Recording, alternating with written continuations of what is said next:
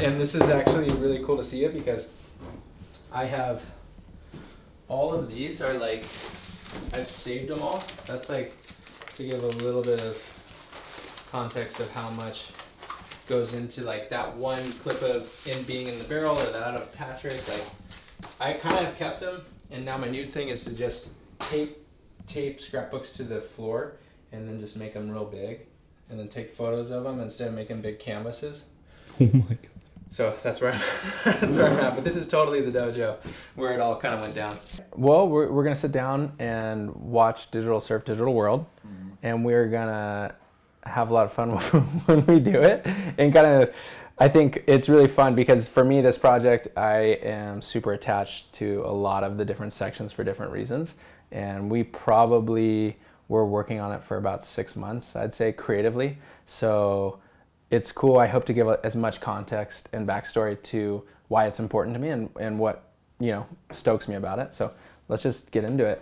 Um, because the intro, I mean, right away, just start stop. But that song, uh, Sifu Lilac, is almost that really I think like was a catalyst for us to get creative with the project and have that texture because that song really drove us to be able to allow in like in the intro there's Super 8 there's scrapbooking, there's like HD as you can get. I mean, there's like a phantom clip in the barrel as well, and it's cool to see how they all kind of interact. Um, one clip specifically where I'm running right in the beginning, running from behind, and my fiance shot that up in Oregon, and we were playing around with her Super 8 camera because you can uh, you can kind of lower or uh, make a lot more of the frame rates, so you can get slow mo or really like Charlie Chaplin, like 12, I think that was 12 frames a second. And I was really stoked with how it came out. Then I put it in Premiere and just literally took it to like speed 10%. And so almost really wanted to emphasize treating video like photo and treating photo like video. So like there's examples of that going both ways, whether it's the uh, scrap barrel or like that's an example of treating video like a photo. It's super fun. I think the thing that I like about it is that it keeps you in the moment in that moment. Like when you shoot something on film on a trip, you don't have the luxury of going back and looking at it to know if you got it or not. So then when you get home, what you get from it is what you get from it. So whether you blew the shot or you got it, it's always something special from it. Um, but yeah, so yeah, right here I'm seeing the red rooster and I think that that is a hilarious one too. So the red rooster stuff, like why that's in there is because for for me moving down to Oceanside, this is the that was a place that's that's a bar that's right by my house, and Alex uh, and myself we'd always, you know, we would go driving by it to go to the beach or back to our house, and so we, it was this joke like are we ever going to go in the Red Rooster? So we actually did. We just went in midday, got beers, and we were in there basically alone.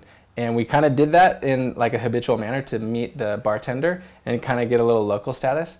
And her name's Pebbles. She's a legend, actually. She's you can see some of her because uh, Alex then brought in the 16 millimeter, and we were able to shoot inside the Red Rooster one day. And it's just totally grommy, but we love it. Like I think it to us like signifies this is like the first real creation that the both of us coming from Oceanside, we're both living here. It means a lot to us to be a part of the community here. And so it's just like if I guess it's not I don't want to say like if you know you know, but it's kind of a fun thing to have like those small little like like tip offs to where it's from.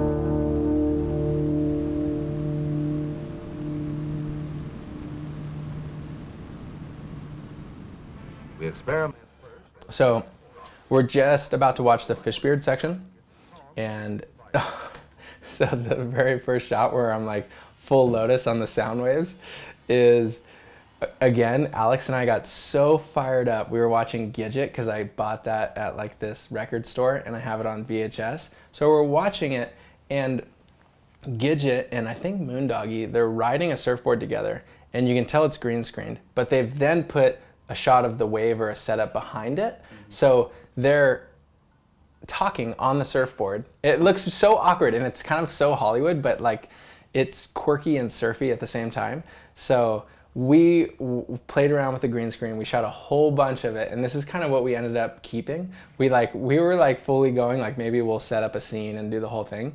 But I think it's perfect for this section, like digital surf digital world, because basically it's like you can be anywhere. You know what I mean? Like nowadays, it's like this was our representation of the fun side of digita- digitalism or whatever. So, and then. Uh, yeah, the surf, I love when the fish beard just pops into my hands. But yeah, this board was insane. This is all shot at lower trestles, and then we kind of mix into a bit more oceanside. So this section is based real heavily around like California. This actual session right here was my first time on that board. I think Challenge was doing like the team kind of all tries out the board at lowers. And so I remember Mikey Febbs was out, Patrick, uh, Nathaniel Kern came down, I think Yadin was out, and they brought us some fish beards. So I just got on it and I was just tripping out on how easy it was to surf, how much speed you get on the board. Kind of almost felt like a thruster. Like you could definitely relax and and collapse over that back fin feeling, but there was no back fin. So I think yeah, the fish beard is it's like the most high performance twin fin I've I've ever ridden.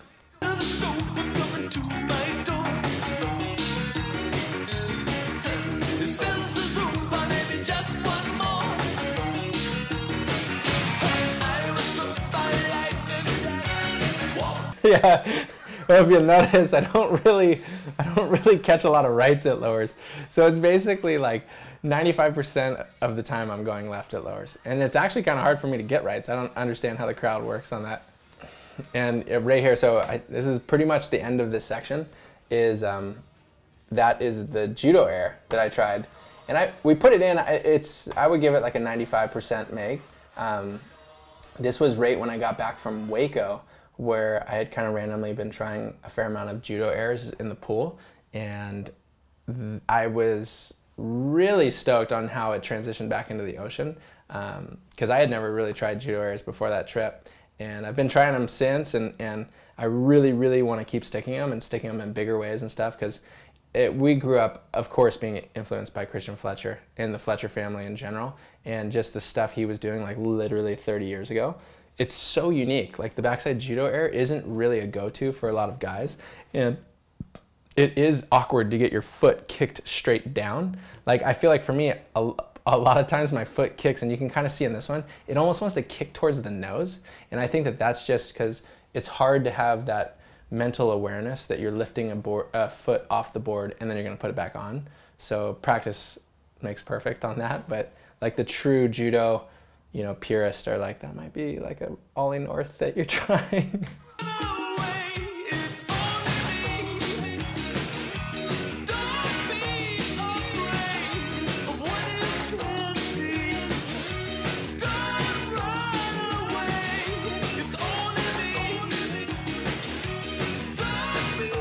This is uh, so Oingo Boingo Dead Man's Party was this was Alex's favorite song of the edit and we got all fired up on it. We make what is cool, what we do, like it's fun to work together with Alex because when we're getting in the space to create something like this, this long edit, we kind of make a playlist of like, hey, this is what I've been listening to, this is what you're listening to, like see where we're at, and if there's things that work together, then we start to kind of narrow things down.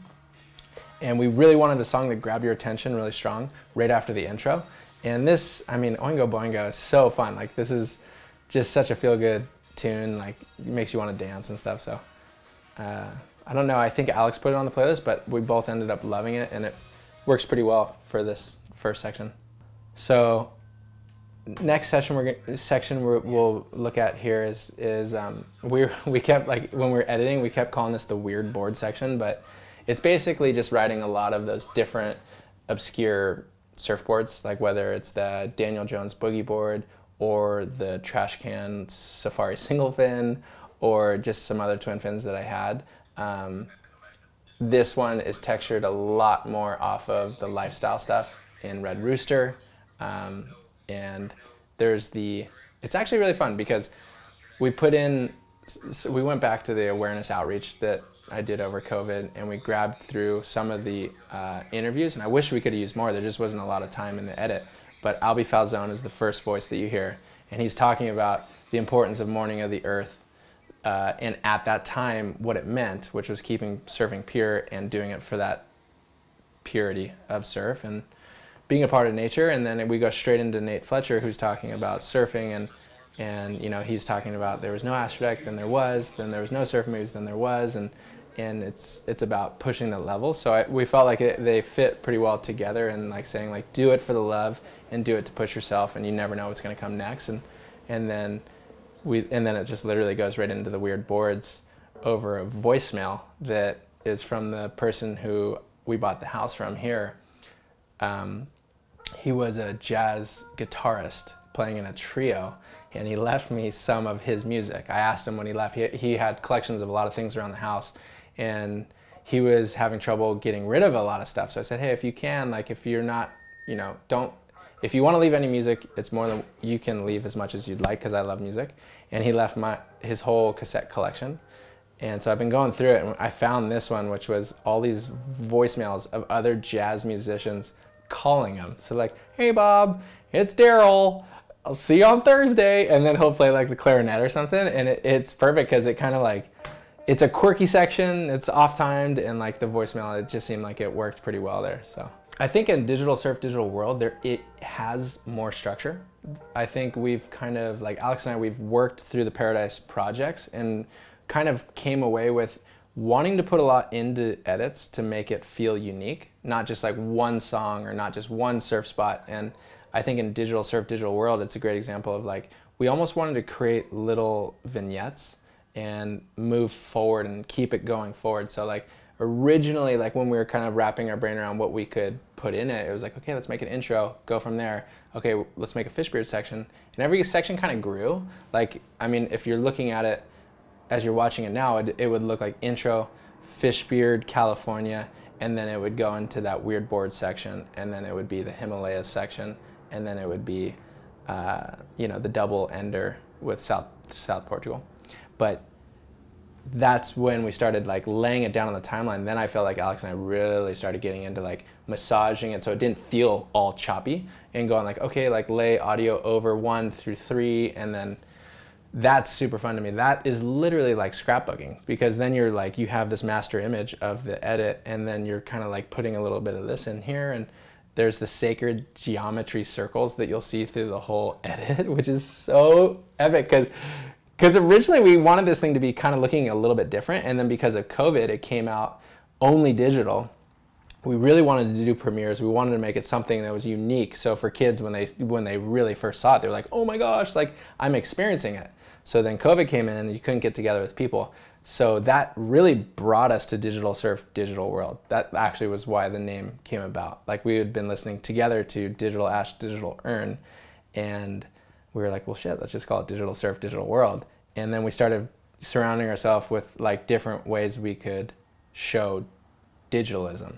And Alex came up with this YouTube video that was all these sacred geometry circles moving in and then moving out, and it had like this deep house Berlin techno soundtrack to it. So I just laugh every time that I see those circles because when you really watch the raw audio off of that YouTube video, it definitely is a different feel.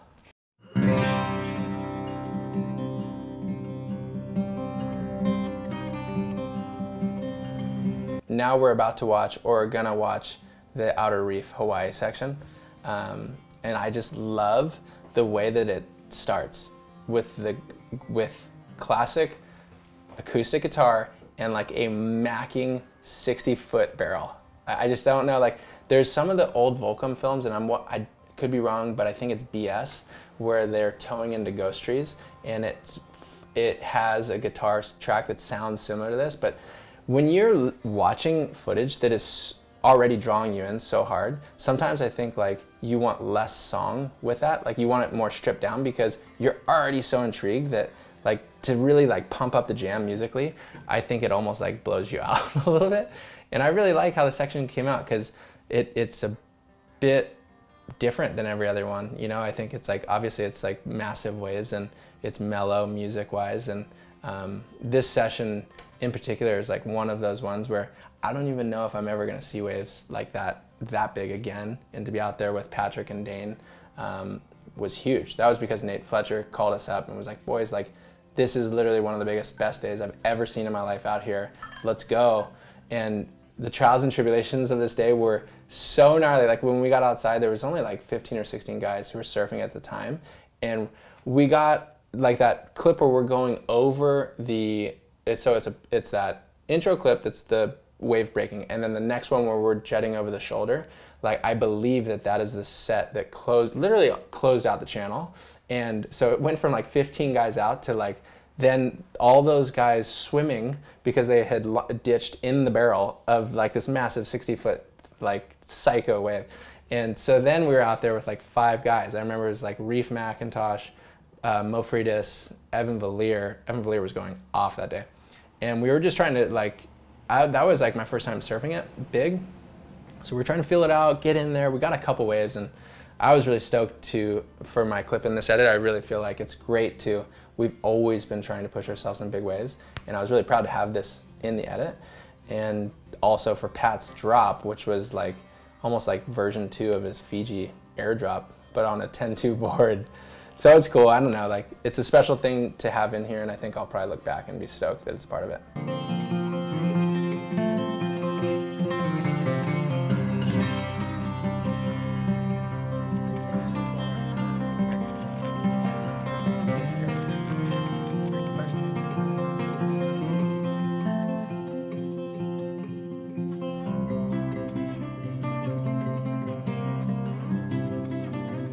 So this is now the, when I was talking about trying to treat videos like photos and photos like video, this was a huge emphasis for this project was to take a clip and try to make it seem like it had the textures of the scrapbooks and the photos.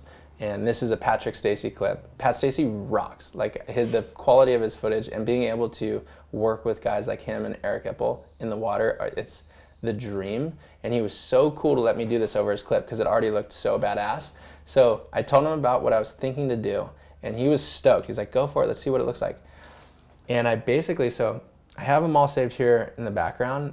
I think this was about, I want to say it was like 100 and something individual scrapbooks. And when it all so like i'm just in here just whipping away at like doing whatever i can on each individual one and just going forward going forward. And then we put them back into the computer. And i remember seeing it for the first time was so cool. Like you got to go back to like elementary school where you draw that little stick figure on the lower corner of your notebook. And he's like skating and he does a little ollie. And i just remember like it clicked for me in that moment which was like wow. Like this looks so special.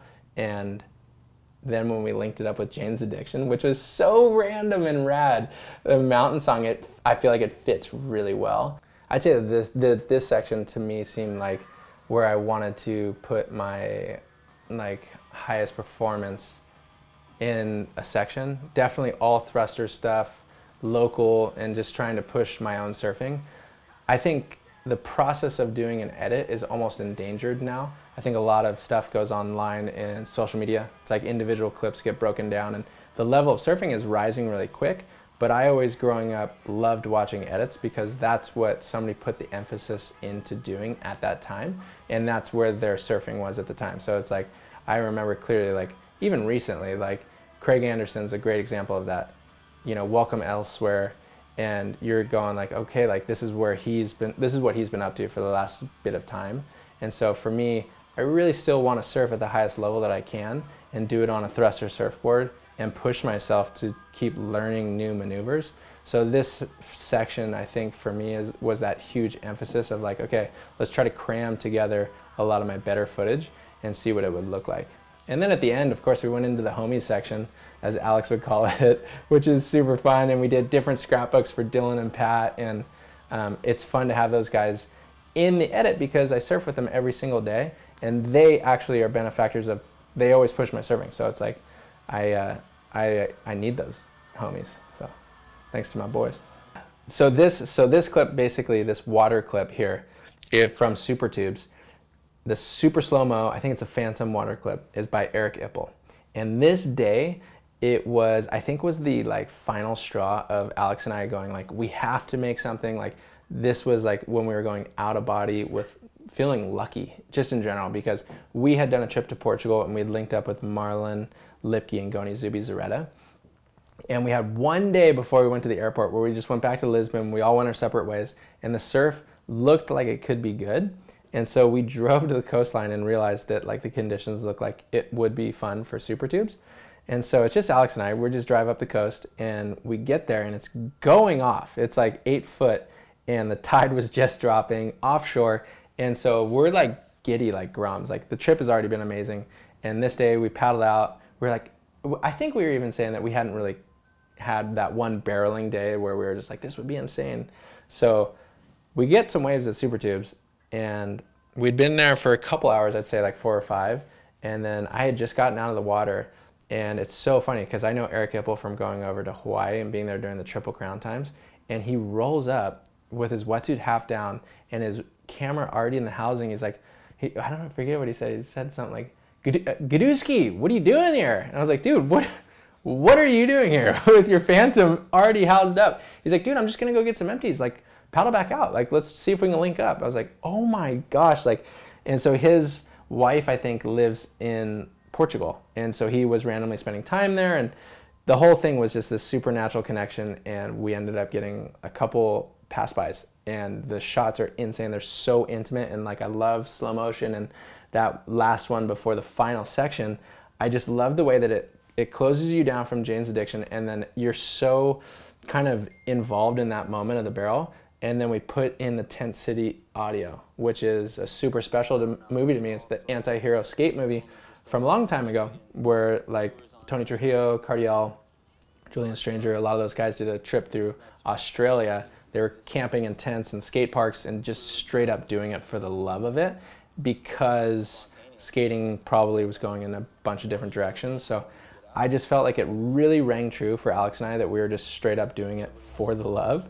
And I like how it kind of transitions you from like that pumped up Jane's Addiction uh, section to Hobo Dave and the 1985 Ender section, and it kind of it takes you to you know thinking a little bit more about surfing in general, why you do it, and then Dave's song is insanely pure. So I felt like that was a good combo. Dave, we've become good friends with Dave. I met him originally like maybe eight years ago. Uh, Patrick and Nathan Fletcher did the Mavs event, and so we went up for the ceremony, and I just went to hang out with those guys, and then Dave rolled up too, and he had his camera. And Nate knew Dave. We didn't know him at the time, and I just remember Nate going like, "What's up, Hobo Dave?" And I just loved that he was named Hobo Dave. But I think at the time he was living in his car. He's originally from Seattle. The nicest guy, full surf frother, um, and he's a musician. He just creates all the time. Like we stay in touch. He's sending me like new tracks basically every week. And this album I told him I was getting all into cassette tapes, and he recorded me two of his latest albums on cassette, and he sent them in the mail to me. And it was really rad because it was right when his album dropped, and I was able to listen to it. The whole thing's phenomenal, but this song, 1985, again, like kept feeling like the theme of like technology and how we're living with it, and like where we're all at. And Dave was just speaking about it. He must have been born in 1985, and just seeing where everything's at now, I just I really loved it, and it's been really fun staying in touch with Dave, and he was all stoked on the way it all came out. So this this whole section right here is the um, so we kind of did it's cool. We we did a bit of like the California homies section, and then this final final section is all in Portugal, and that was a super special trip where we went over and we filmed. I really had wanted wanted to do a video trip to Portugal for a really long time, and I reached out to Marlon Lipke.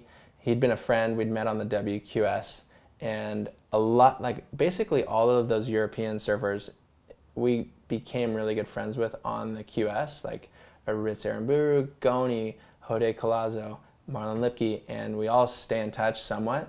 And it was really cool because I hadn't surfed with Marlon in a long time, and I know he had started Jam Traction. I didn't know if he had transitioned away from like professional surfing, but he, he I hit him up. He's like, dude, let's just go to my hometown. Like, so that's south of, of Lisbon by like three or four hours and I had never been there. And so we all loaded up in the car and we went down. The swell forecast looked really good for that area. And it was so, so cool to be seeing Marlon's hometown. We went with Goni, who's an ultra legend too. but it's so beautiful. But to be able to go under somebody's wing like that, and Marlon really took good care of us. He took us. His dad has a surf camp there. Whose his dad's name is Dagos. They live in Lagos, so that became like our mantra chant for the whole trip, which was like Dagos and Lagos. And his brother Melvin owns a bar called Mellow Loco, and we had a couple really fun nights there. And the whole trip, like it just kept going and going, and like we'd get fun waves, we'd have great food, and, and those two together were just comedy. And so I think that that was also like a spirit send for us. And in this section, it's really fun. It, you know, you see Marlon has a couple clips and Goni has some clips too. And um, it's a really unique looking wave. That one specifically, that left wedge that we, we surfed. And uh, it was a treat to be able to score that with those guys.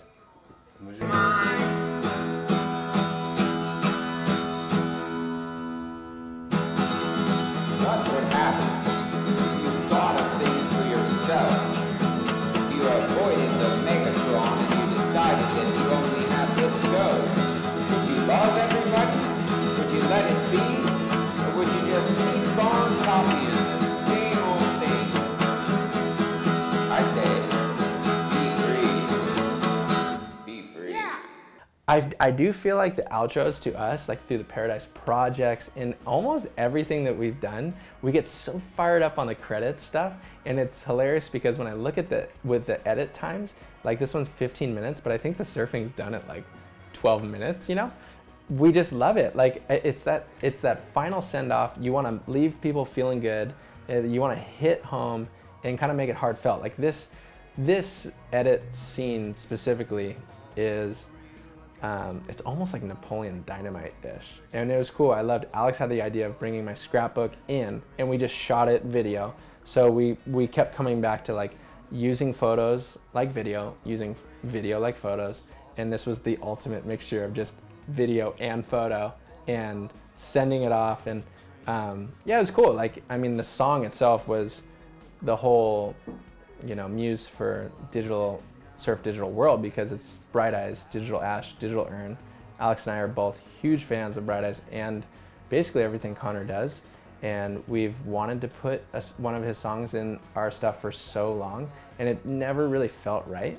And for some reason, this one just totally clicked, and I love it. We even, after having it this way, we almost changed it, and both of us were just like, nah, it's like, you can't get away from this. It's like, this is the dream, and and just the way that we go through and take the time, celebrate each person in the edit. I think it's important on from our standpoint to just just celebrate like crews getting together and putting creative energy into surf culture, whether it's edits, photos, videos, or whatever.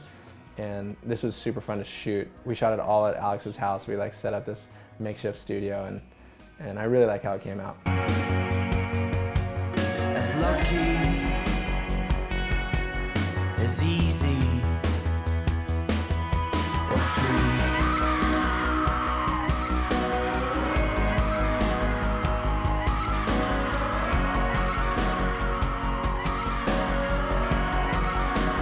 Yeah, that's that is true. The other song that we were trying to push in there was a live version of this song with Better Oblivion Community Center because we just went and saw those guys live before uh, COVID came in, and and that band's super good. Like that's that's Conor working with Phoebe Bridgers, who's also amazing, and it's almost like a bit of an underground side band. And that whole album that they put out is is incredible. So yeah, we almost used that here, but then we just went for the OG Bright Eyes.